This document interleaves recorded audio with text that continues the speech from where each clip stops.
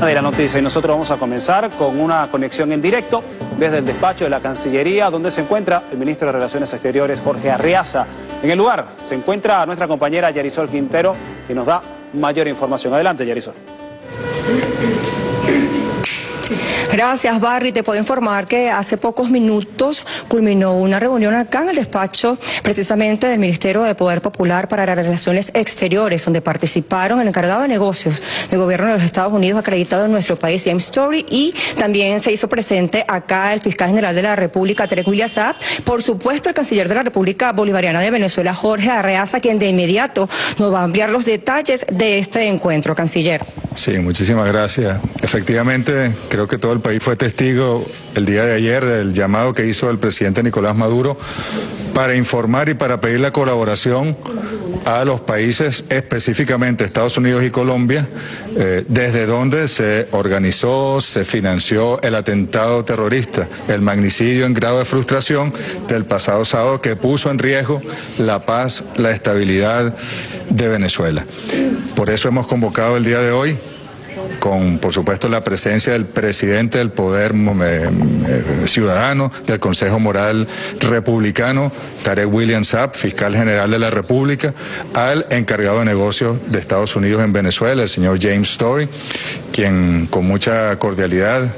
y hay que decirlo y franqueza,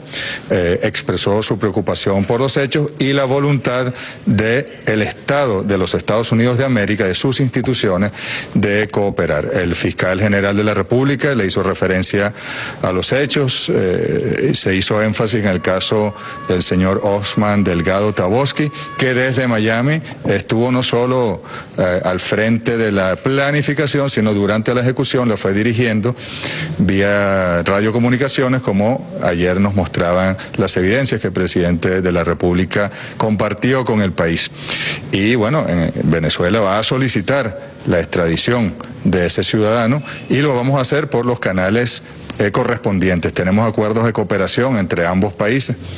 eh, que están vigentes, eh, entre los poderes, entre las fiscalías, entre los poderes judiciales, los sistemas de justicia, y vamos a hacer uso de esos instrumentos. Se le dio una, un, digamos, un informe preliminar, se le entregó al señor encargado de negocios de los Estados Unidos, y bueno, nosotros confiamos la doctrina de seguridad de Estados Unidos desde hace varios años ha planteado la lucha contra el terrorismo como una de las principales premisas eh, en la teoría. Nosotros queremos ver en la práctica, en esta cooperación con Venezuela, que efectivamente se cumpla, porque lo ocurrido el sábado pasado en la Avenida Bolívar fue un acto terrorista que afortunadamente no logró su objetivo, pero que de haberlo logrado hubiese sido de los peores actos terroristas de la historia de la humanidad. Y bueno, lo único que le pedimos es a los países que en cuyo territorio, desde cuyo territorio se organizó, se, se planificó, se diseñó este magnicidio en grave frustración, que cooperen en los casos de las personas que están involucradas y de algunas personas de medios de comunicación que también han confesado sus vínculos directos con los planificadores de estos hechos. Bien, el canciller, eh, han sido reiteradas las manifestaciones de solidaridad eh, con nuestro gobierno, con el presidente Nicolás Maduro. ¿Se han manifestado otros países, se han manifestado otras autoridades del mundo? Miren, eso yo debo decirlo,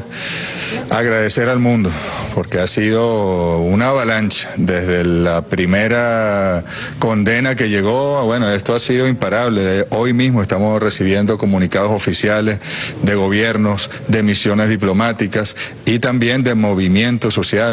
de personalidades del mundo. Yo creo que ha habido mucha claridad y los elementos que ha dado el fiscal general de la República, que el presidente ayer dio públicamente, que el ministro Reverol ha dado, bueno, también además van eh, conformando una verdad inobjetable y quienes trataron en un primer momento de subestimar el hecho en medios de comunicación, en opiniones jurídicas, bueno, han quedado prácticamente en ridículo. Creo que el mundo ha sido testigo con pruebas de la realidad y lo que tenemos nosotros ahora es que investigar,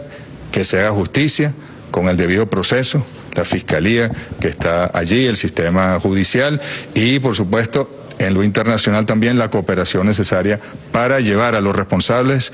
a los planificadores y a los ejecutores, autores eh, intelectuales y materiales de tan horrible acto ante la justicia y que eh, pueda el país estar en paz. Muchas gracias. Bien, escuchaban palabras entonces las declaraciones del canciller de la República Bolivariana de Venezuela, quien ofrecía los detalles de este encuentro con representantes del gobierno de los Estados Unidos presentes en nuestro país y autoridades del Estado venezolano, atendiendo el llamado un poco que hiciera el día de ayer el presidente de la República Bolivariana de Venezuela para pedir la cooperación de países como Colombia y el gobierno de los Estados Unidos para cooperar con respecto a las investigaciones que con respecto al atentado, al intento de magnicidio fallido que se registró en nuestro país el pasado sábado. Por supuesto, los detalles de esta información serán ampliadas en las diferentes emisiones de la noticia. Por ahora volvemos contigo, Barrio, a los estudios. Adelante.